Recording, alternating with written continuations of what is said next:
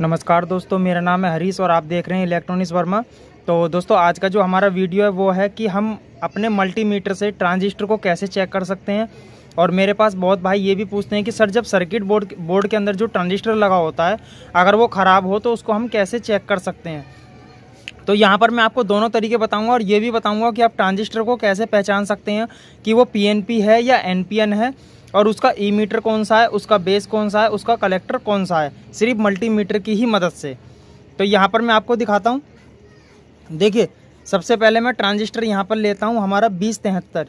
यानी कि ये जो ट्रांजिस्टर है हमारा, ये है हमारा सी बीस तिहत्तर। ये हमारा ट्रांजिस्टर है।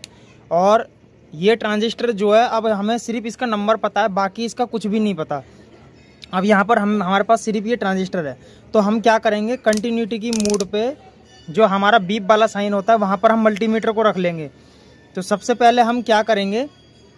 जो हमारा ब्लैक वाला प्रोप है, वो हम पहले नंबर पे रखेंगे और रेड वाले को लगाएँगे इस तरीके से। तो देखिए, हमने दो नंबर पे लगाया, कोई रीडिंग नहीं आ रही। फिर हमने यहाँ पर तीन नंबर पे लगाया तो हमें यहाँ पर अब भी कोई रीडिंग नहीं आ रही। अब क्या करेंगे? हम वायर को चेंज कर देंगे। ये वाला जो रेड वाला वायर है, वो पहले नंबर पे रख लेंगे और जो ब्लैक वाला वायर है, वो हम यहाँ रख देंगे। अब देखिए, हमें पिन नंबर दो पे जो हमने देखिए रेड वाले को तो हमने पिन नंबर वन पे रख दिया। पिन नंबर टू पे जब हमने ब्लैक वाले वायर को रखा तो हमारा यहाँ पर जो रीडिंग आ रहा है, वो आ रहा है पाँच सौ छियालीस के आसपास। तो यहाँ पर मैं लिख देता हूँ, पाँच ये हमारा जो रीडिंग आया है, पाँच अब यहाँ पर जो है, फिर पिन नंबर तीन पे भी हम चेक करते हैं। तो पिन नंबर तीन पे हमें मिला यहाँ पर फाइव फाइव एट यानी कि पाँच सौ अट्ठावन के आसपास। अब देखिए, यहाँ पर जो पिन नंबर थ्री पे जो हमें रीडिंग मिला, वो हमें मिला पाँच सौ अट्ठावन के आसपास। तो देखिए, ये दो रीडिंग मिला। अब हमें ये कैसे पता लगेगा कि इसके अंदर बेस कौन सा है कलेक्टर कौन सा ई मीटर कौन सा है? अब देखिए, मैं आपको बताता हूँ। देखिए, जब मैंने यहाँ पर रेड वाले वायर को रखा और यहाँ पर ब्लैक से जब मैं चेक कर रहा हूँ तो देखिए दो जगह रीडिंग आ रही है। यानी कि ब्लैक वायर रखने से यहाँ पर भी रीडिंग आ रही है ब्लैक वाले से, और यहाँ पर भी ब्लैक वाला ही रखने से रीडिंग आ रही है।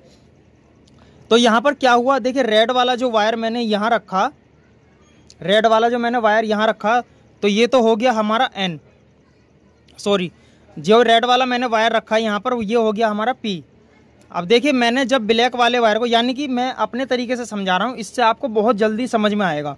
अब देखिए रेड वाला जब मैंने यहाँ वायर रखा तो यहाँ पर देखिए, ये रेड वाला वायर हो गया हमारा पी यानी कि पॉजिटिव और मैंने ब्लैक वाले को जब रखा तो यहाँ पर दो बार में रीडिंग आ रही है। तो यहाँ पर ये हो गया हमारा एन और एन यानी कि ब्लैक वायर है तो नेगेटिव और नेगेटिव यानी कि इन चीज़ों से हमारी जो रीडिंग आ रही है। तो रीडिंग आ रही है, अब देखिए रीडिंग यहाँ पर तो हमारी ज़्यादा रीडिंग है, यहाँ पर हमारी कम रीडिंग है। अब देखिए, जहाँ पर रेड वाला वायर रखा हुआ था और दोनों तरफ़ रीडिंग आ रही थी। तो यानी कि जो रेड वाला वायर है, ये हो गया हमारा बेस रेड वाला वायर जो बेस हो गया, यानी कि जो पहली नंबर की इसकी पिन है, वो बेस हो गई। अब देखिए, जैसे कि ये ट्रांजिस्टर है, इसमें अब पहले नंबर की जो पिन हो गई, वो बेस हो गई। ये बेस हो गई। अब हमें पता लगानी है कि इसमें से कलेक्टर और ई मीटर कौन सा है। तो देखिए, जो ई मीटर होता है, वो हमेशा ज़्यादा होता है। उसकी रीडिंग जो हमेशा ज़्यादा होती है तो ये हो गया हमारा ई मीटर यानी कि इसकी रीडिंग ज़्यादा है तो ये ई मीटर हो गया। और इसकी रीडिंग हमारी कम है तो ये कलेक्टर हो गया। तो यानी कि ये वाला जो पिन है, इसकी रीडिंग ऊपर वाली थी तो ये कलेक्टर हो गया।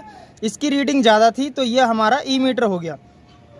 तो देखिए, अब यहाँ पर ये पी एन एन आ गया। तो यानी कि यहाँ पर एन डबल में आ गया।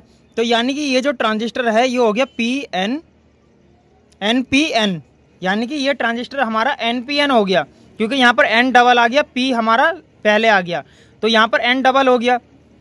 तो ये ट्रांजिस्टर हमारा हो गया एन पी एन अब देखिए, मैं दूसरा ट्रांजिस्टर आपको दिखाता हूँ। देखिए, ये वाला जो ट्रांजिस्टर है हमारा, अब मैंने ये ले लिया। अब मैं इसको भी आपको चेक करके दिखाता हूँ। तो ये देखिए, ये वाला जो ट्रांजिस्टर लिया हमने, ये है हमारा ए 940 ये 940 है। अब हमें ये भी नहीं पता कि ये ट्रांजिस्टर का बेस कलेक्टर ईमीटर कौन सा है और इसके अंदर जो है हमें ना ही ये पता है कि इसके अंदर जो है ये बेस कलेक्टर ई मीटर कौन सा है और ना ही इसके अंदर हमें इसके जो है पॉइंट पता है। तो अब हम क्या करेंगे, वही चीज़ यहाँ पर भी इस्तेमाल करेंगे। देखिए, मैं पहले यहाँ पर रेड वाली वायर यहाँ रखता हूँ, पहले नंबर की पिन पे, और दूसरे पे देखिए यहाँ पर मैं वायर रख रहा हूँ, और तीसरे पे भी रखा, यानी कि कोई रीडिंग मिल नहीं रही है। तो मैं वायर को चेंज कर दूँगा। चेंज करने से क्या होना चाहिए कि दो जगह रीडिंग आनी चाहिए। अगर दो जगह रीडिंग आ रही है तो आपका जो वायर है वो एकदम सही रखा हुआ है। अब देखिए, पहले नंबर पे मैंने ब्लैक वाला वायर रख दिया और रेड वाले से जब मैं चेक कर रहा हूँ तो यहाँ पर मुझे रीडिंग मिल रही है 612 अब मैं आपको दिखाता हूँ। तो यहाँ पर मुझे रीडिंग मिली 612 जो दूसरे नंबर की पिन है। और यहाँ पर देखिए, वायर मैंने रेड वाला ब्लैक वाला रखा हुआ है पहले नंबर पे। अब मैं यहाँ पर तीसरे नंबर पे जब चेक करता हूँ तो मुझे यहाँ रीडिंग मिल रही है 617 रीडिंग। अब यहाँ पर हम ये भी लिख लेते हैं। ये हो गई हमारी 617 रीडिंग। अब यहाँ पर आपने देखा मैंने ब्लैक वाला वायर रखा हुआ था। तो ब्लैक वाले वायर से मुझे दो जगह रीडिंग मिली। तो यहाँ पर क्या हुआ, जब ब्लैक वाला वायर रखा, यानी कि नेगेटिव तो ये हो गया हमारा एन और पॉजिटिव से दो बार रीडिंग आई इस ट्रांजिस्टर के अंदर। तो यहाँ पर हो गया पी और पी यानी कि ये डबल पी हो गया और ये एन हो गया। तो यहाँ पर अब क्या हुआ, देखिए, ट्रांजिस्टर है हमारा, इसके तीन प्रोक हो गए हमारे, तीन जो टांग हो गई। अब यहाँ पर देखिए पी दो दो बार आ रहा है एन एक बार आ रहा है। तो यानी कि ये जो ट्रांजिस्टर है, ये हो गया पी एन पी तो ये ट्रांजिस्टर पी एन पी हो गया। और यहाँ पर जो दूसरे नंबर की पिन पे इस पे रीडिंग आई थी, वो आई थी 612 और तीसरे नंबर पे जो रीडिंग आई थी, वो आई थी 617 तो यानी कि इस वाले प्रोक पे जो हमने ब्लैक वाला वायर लगाया था तो यहाँ पर रीडिंग दोनों पे दिखा रहा था। तो यानी कि ये हो गया हमारा बेस। यानी कि बेस पे अगर कोई वायर हमारा रखा हुआ है और दूसरा वायर हमारा रीडिंग बता रहा है तो यानी कि जो हमारा वायर है, वो सही जगह रखा हुआ है बेस के ऊपर। अब देखिए, यहाँ पर जो रीडिंग आई थी, इस वाले पे आई थी हमारी 612 तो ये हो गया हमारा कलेक्टर इस वाले पे आई थी हमारी, देखिए, इस ये रीडिंग ज़्यादा है तो ज़्यादा का मतलब हुआ ये हमारा ई मीटर हो गया। यानी कि ये कलेक्टर हो गया और ये ई मीटर हो गया। तो इसका मतलब हमारा ये वाला जो पॉइंट है, ये कलेक्टर और ये वाला जो पॉइंट है, ये ई मीटर हो गया। तो इस तरीके से हम जो है ट्रांजिस्टर को चेक कर सकते हैं, बहुत आसान तरीके से। अब देखिए, यहाँ पर हमारा ये तीस पचपन का ट्रांजिस्टर है तो इसकी टांगे कुछ हमें अलग मिलती है तो इसको भी मैं आपको चेक करके दिखाता हूँ। तो ये ज़्यादातर तो ये सारे भाइयों को पता है कि ये एनपीएन ट्रांजिस्टर ही होता है। अब देखिए एनपीएन का मतलब हुआ कि इसमें एन दो बार आ रहा है और पी एक बार आ रहा है। तो मैं यहाँ पर क्या करूँगा, जो इसका बेस वाला पॉइंट है, उस पर रेड वाली वायर रख दूँगा। यानी कि पी एक बार है तो मैं एक बार यहाँ पर रेड वाला वायर रखूँगा और एन दो बार है तो ब्लैक वाली वायर यहाँ रखूँगा। तो यहाँ पर देखिए, मैं कलेक्टर पे जब इसकी वोल्टेज चेक करता हूँ तो मुझे इसकी वोल्टेज मिलती है पाँच सौ सत्तानवे, यानी कि पाँच सौ सत्तानवे इसकी कलेक्टर पे वोल्टेज मिल रही है। और जब मैं ई मीटर पे चेक करूँगा तो ई मीटर पे मिल को मिल है छः सौ छः सौ एक के आसपास। तो आपने देखा कि कितने ही आसान तरीके से हमने इसे चेक कर लिया, यानी कि इसका ये ई मीटर है, क्योंकि इसके अंदर वोल्टेज ज़्यादा आ रही है, और कलेक्टर पे वोल्टेज कम है तो ये हमारा बॉडी जो है, ये कलेक्टर हो गया, और बेस हमारा ये हो गया। तो मैंने यहाँ रेड वाला वायर रखा था तो इसका मतलब क्या हुआ कि ये हमारा एन पी एन ट्रांजिस्टर है, क्योंकि इसमें पी एक बार आ रहा है और एन दो बार आ रहा है, क्योंकि एन के अंदर जो रीडिंग आ रही है, देखिए यहाँ पर भी एन पे रीडिंग आ रही है और यहाँ पर भी रीडिंग आ रही है।